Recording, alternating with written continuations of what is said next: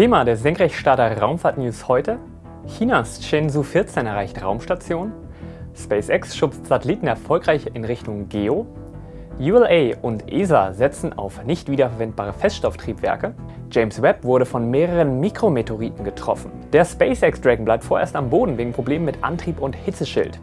Elon Musk teilt SpaceX interne Präsentation und Fotos von Starship-Raptoren. Nächste Woche könnte Südkorea mit einem erfolgreichen Start seiner Nuri-Rakete zur Raumfahrtnation aufsteigen und SpaceX startet einen Radarsatelliten für die Bundeswehr.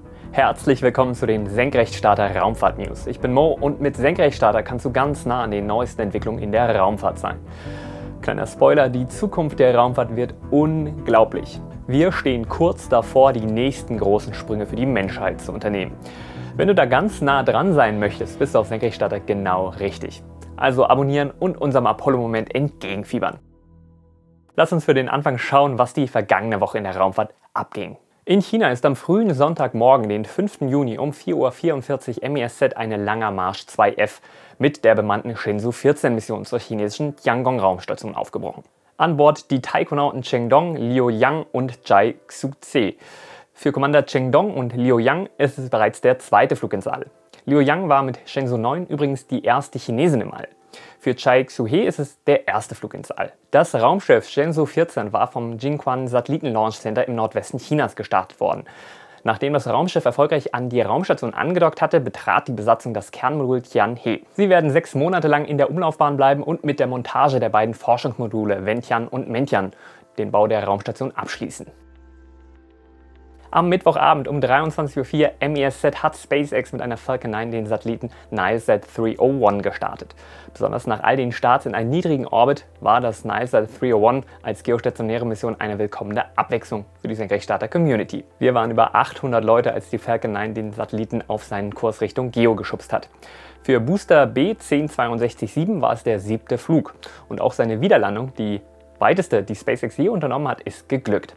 Man wird ja fast müde, das zu sagen, aber auch das war ein neuer Rekord mit 49 erfolgreichen Landungen, einer nach der anderen. Bei der Orbit-Einsteuerung war es kurz noch etwas spannend, da es keine Verbindung zu der Bodenstation gab und die Animation so aussah, als würde die zweite Stufe mit dem Satelliten im niedrigen Erdorbit festhängen. Aber nachdem wieder Verbindung zur zweiten Stufe bestand, löste sich alle Sorgen in Wohlgefallen auf.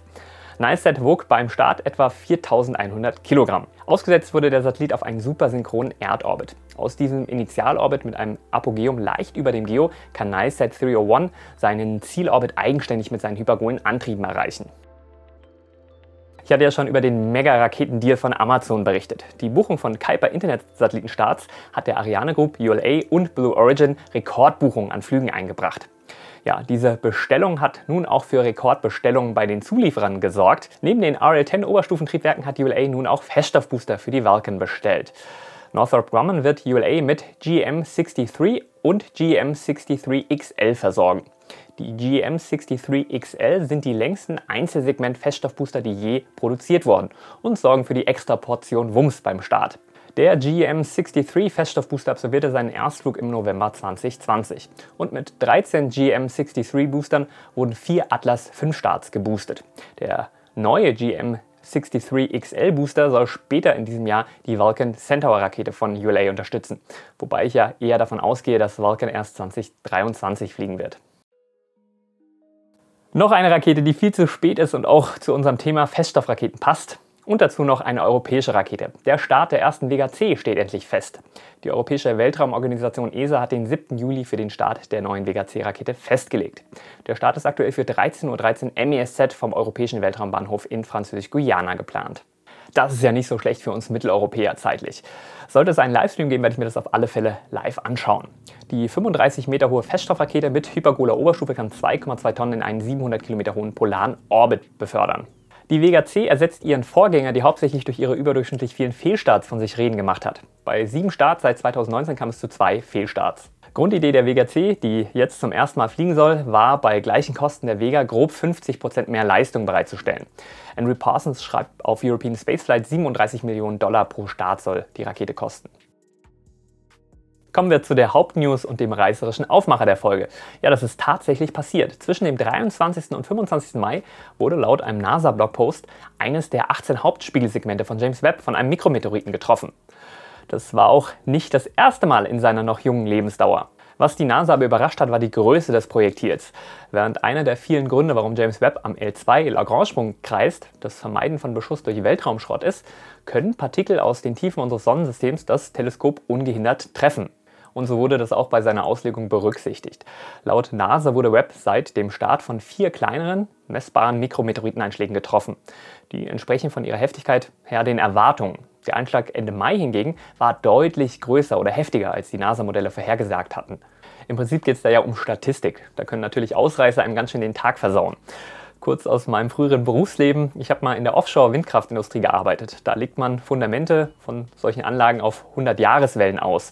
Und ich weiß, dass bei einem Plattformfundament im ersten Winter direkt mehrere hundert Jahreswellen durchgerauscht sind, weswegen man dann die Definition angepasst hat.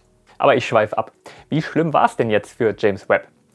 Ja, laut NASA ist der Schaden in Messungen wahrnehmbar, aber trotzdem würde das Observatorium noch weiter über den Erwartungen liegen. Weiter soll es voll und ganz in der Lage sein, die wissenschaftlichen Daten zu liefern, für die es ausgelegt wurde.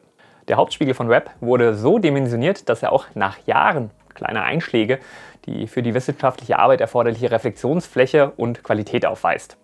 Auch die fünf Sonnenschutzschilde sind unter anderem deshalb in mehreren Lagen angeordnet, weil sie mehr als die erwarteten kleinen Löcher und sogar einige Risse vertragen und trotzdem funktionieren. Bisschen kritischer ist es mit den wissenschaftlichen Instrumenten. Klar, wenn so ein Sensor einen Einschlag abbekommt, dann ist der kaputt. Darum sind fast alle empfindlichen Komponenten durch eine Mikrometeoritenpanzerung geschützt. Ist ganz spannend, wie solche Schilde funktionieren, die dafür sorgen, dass die enorme Energie, mit der solche Geschosse einschlagen, schnellstmöglich abgebaut wird, bevor kritische Teile getroffen werden können. Was sind die kritischsten Teile, die da oben so rumfliegen? Genau, Astronauten. Darum sind Mikrometeoritenschilde ein essentieller Bestandteil von Raumfahrzeugen und auch die ISS hat spezielle Schutzschilde dafür. Wenn euch das Thema mehr interessiert, dann schreibt mir gerne unter dem Video. Apropos schreibt mir, ich brauche deine Hilfe. Ich betreibe Senkrechtstarter seit einem Jahr in Selbstständigkeit und komme an meine Grenzen.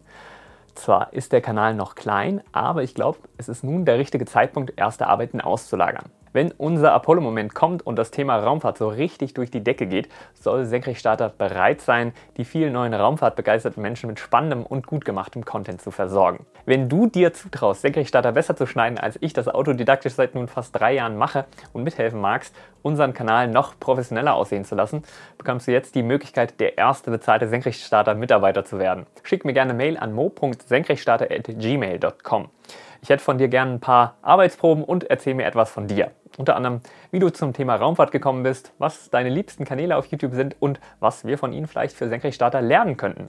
Wäre cool, wenn du bereits gut mit Adobe Premiere arbeiten kannst und pro Woche einen Tag dafür Zeit hättest. Wann, wie und von wo du arbeitest, das kannst du dir aber völlig frei einteilen. Ich freue mich sehr auf deine Mail und hoffentlich bald auf den Senkrechtcutter. SpaceX hat Probleme. Was haben wir uns das Maul zerrissen über die Probleme bei Boeing Starliner und seinem hypergolen Antriebssystem? Ich hatte letzte Woche noch den Start von CRS-25, dem 25. Versorgungsflug von SpaceX, für den 7. Juni angekündigt. Ja, Pustekuchen. Der Start wird mindestens um zwei Wochen verschoben. Während der Betankung mit Monomethylhydrazin wurde in der Nähe eines der Draco-Triebwerke eine erhöhte Konzentration an Monomethylhydrazin gemessen. Der Betankungsvorgang wurde abgebrochen und Treibstoff sowie Oxidator wieder enttankt. NASA und SpaceX werden nun zusammen die Ursache der erhöhten Messwerte suchen. Am Startabbruchsystem kann es aber nicht liegen. CargoDank 2, wie die von dem Fehler betroffene Baunummer C208, haben im Gegensatz zu CrewDank keine Super Dracos. Das Treibstoffproblem ist im Dragon-Programm das zweite Problem, das zuletzt öffentlich wurde.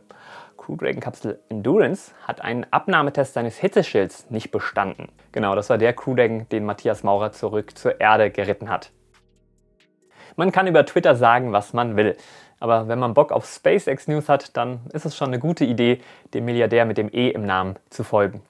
Elon Musk hat seine intern gehaltene Präsentation geteilt. Darin wurden viele der aktuellen Rekorde und Errungenschaften von SpaceX gefeiert, aber auch aktuelle Meilensteine geteilt. Letzte Woche in den News hatte ich ja noch über den Pet Starlink Spender spekuliert.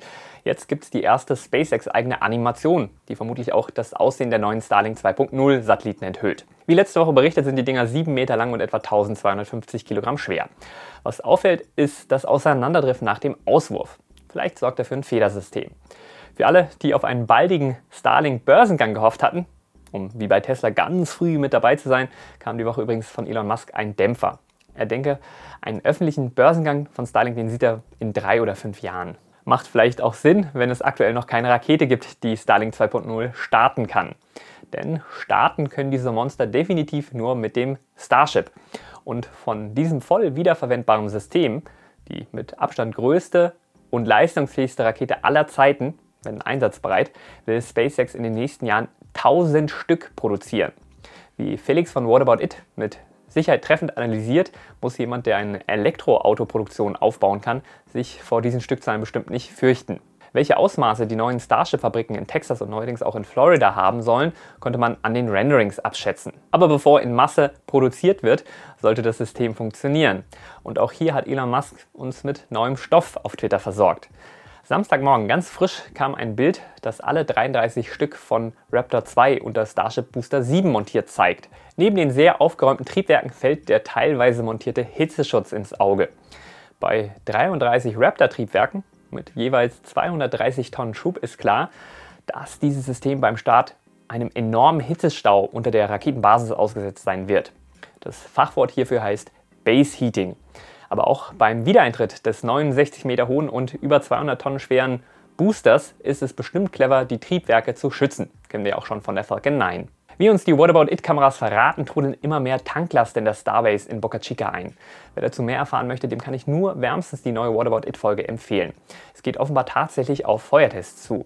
Auch hier gibt Elon Musk Insights, so sollen die Triebwerke Stück für Stück eins nach dem anderen getestet werden. Also vermutlich bei jedem Test ein Triebwerk zusätzlich, also wahrscheinlich 33 Tests. Wobei wir bestimmt nicht davon ausgehen sollten, dass direkt alle Tests auf Anhieb klappen. Passenderweise verdichten sich die Anzeichen dafür, dass wir nächste Woche tatsächlich den Bericht der FAA bekommen werden und es auf eine finale Entscheidung zulaufen könnte, ob SpaceX überhaupt von Boca Chica mit seinem Starship starten darf. Ich weiß nicht warum, aber irgendwie habe ich im Gefühl, dass es tatsächlich diese Woche auf eine Entscheidung zulaufen wird.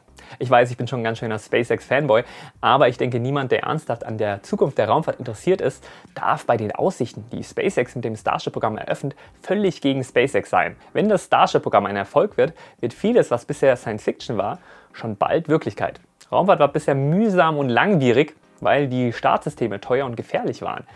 Wenn Raumfahrt aber zuverlässig, günstig und schnell wird, werden Dinge möglich und bezahlbar, die bisher unvorstellbar waren. Unser Apollo-Moment wird noch nicht nächste Woche kommen, aber er liegt in der Luft. Was du aber schon nächste Woche verfolgen kannst, das sind die Starts der kommenden Woche. Wenn die News am Sonntag erscheinen, steht Astra mit ihrer Rocket 3.3 kurz vor ihrem nächsten Start. In der Community als Power Slider bekannt, der abgefahrenste Start, den ich je erlebt habe, will Astra nun in den regulären Flugbetrieb wechseln und für die NASA in kurzer Folge drei Kleinsatelliten zur Sturmbeobachtung starten.